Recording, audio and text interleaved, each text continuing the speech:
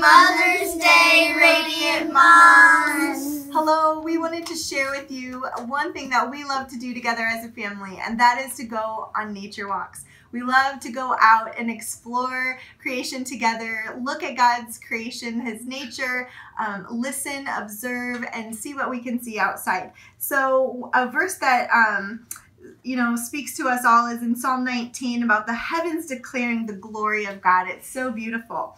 And then also in Romans 1, um, 1 verse 20, it says, For since the creation of the world, God's invisible qualities, his eternal power and divine nature have been clearly seen, being understood from what has been made, so that men are without excuse. So we love to observe um, God and all that he has created. And so I have a question for you, Kayla. What? Where did we go yesterday?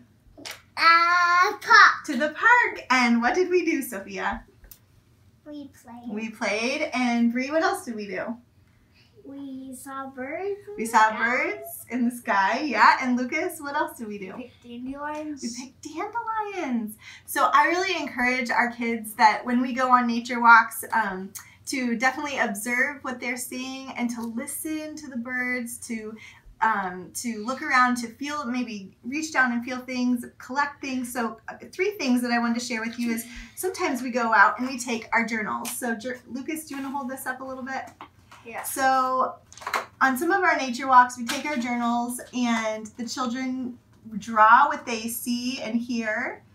And um, they even write about it sometimes a bit. And then, um, Bree, do you want to show something?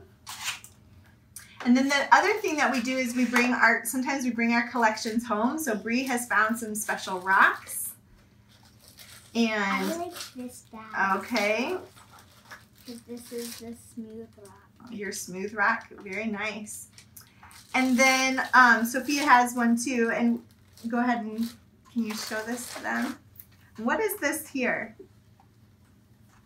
A rock collection where we put nature in. Yeah. hmm Just a collection. We've taken an egg carton and we've taken and we've taken different things that we've collected in nature and just put it there for them to observe up in their room or wherever. And then later, you know, they can keep it there. They can take something out and draw it.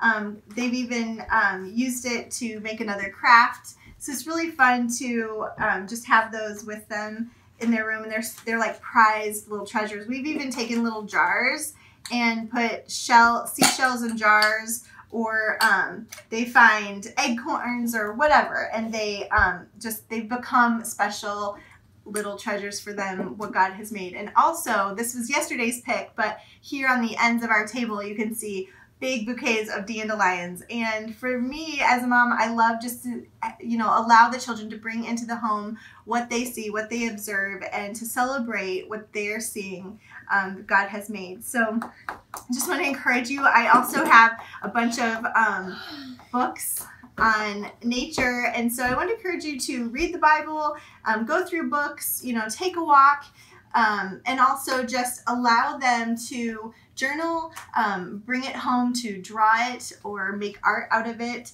and then also a collection where they can collect it and observe it and, and keep it for later. So Kayla, you were going to show your drawing, right? You had drawn a leaf.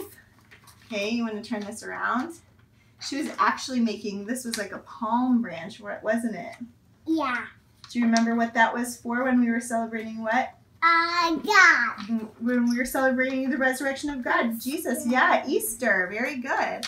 So, um, just wanted to encourage you today, and I hope you're blessed by these little tidbits of going out into creation and seeing all of the wonderful things that God has made, and you know, reading from the Bible and some nature books, and then bringing things home um, to journal about them, to draw them, or to make a collection. And so, have a wonderful Mother's Day. Bye, guys.